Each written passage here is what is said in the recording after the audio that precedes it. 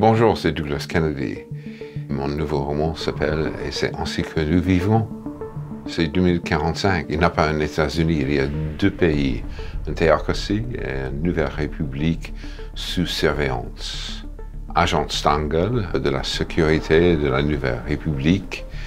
C'est une femme très professionnelle, la quarantaine hyper éduquée, très seule, qui a des doutes. Les doutes augmentent quand elle découvre un secret familial.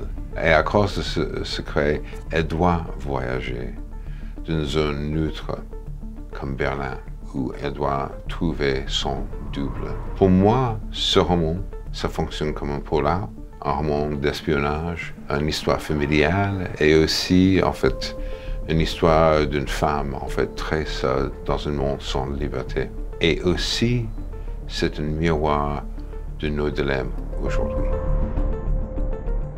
S'il y a un thème central de ce roman, c'est l'avenir noir et ici maintenant. Comme tous mes romans, j'espère que vous allez passer une nuit blanche euh, avec et c'est ainsi que nous vivons.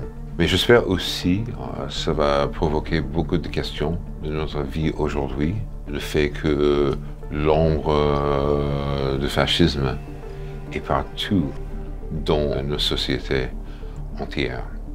C'est vraiment des grandes surprises que j'ai construit comme une euh, boîte chinoise avec beaucoup de suspense et beaucoup, beaucoup de questions.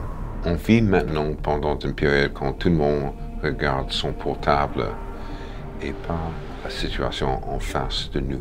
Pour moi, c'est essentiel qu'on lève les yeux de ces portables et lisons, lisons, lisons.